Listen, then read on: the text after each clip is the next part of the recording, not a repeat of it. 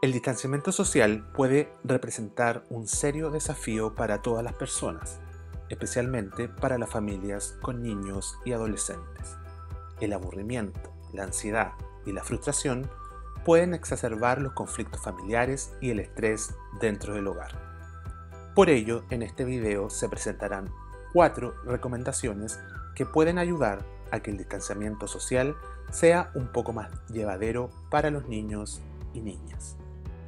La primera recomendación es establecer una rutina sólida.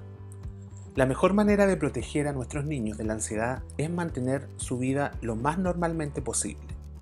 A pesar de que los niños ya no siguen sus rutinas habituales, por ejemplo, de levantarse e ir al colegio, aún así pueden establecer y seguir una nueva rutina en casa.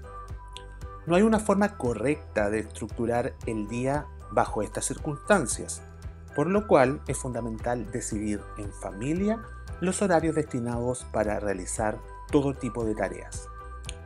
No hay que olvidar que dentro de esta estructura horaria se deben incorporar espacios de ocio y recreación, ya que mantenerse activos y comprometidos sin duda les ayudará a evitar el aburrimiento.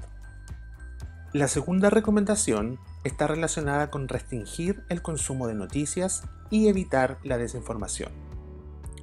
La desinformación generalizada y el miedo al coronavirus están alimentando potentemente la ansiedad. Para abordar estos problemas es importante que los padres controlen el acceso de sus hijos a las noticias, limiten el consumo de noticias en el hogar y elijan conscientemente las mejores formas para que su familia se mantenga al día con los eventos actuales.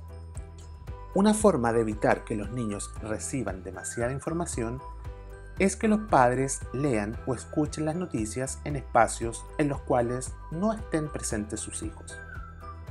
Recuerde, si no explora las preguntas de sus hijos con ellos, alguien más, posiblemente una fuente poco confiable de Internet, lo hará.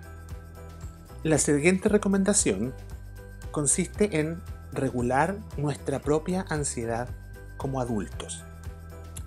Los niños aprenden comportamientos ansiosos de sus padres.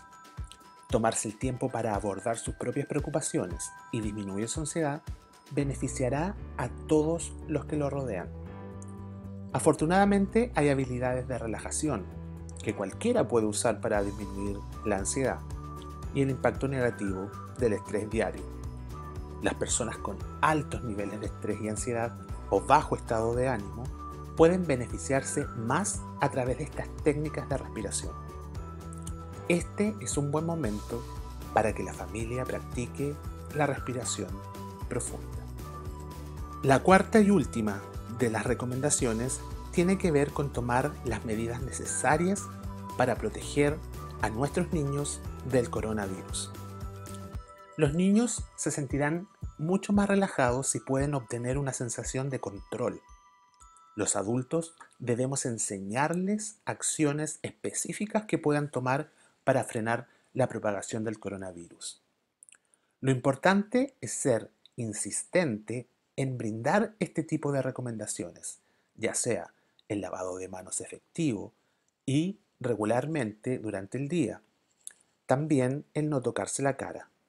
Cuando los niños logren instaurar de manera inconsciente como parte de su rutina actual estas acciones, se sentirán más comprometidos con lo que es la propagación del virus.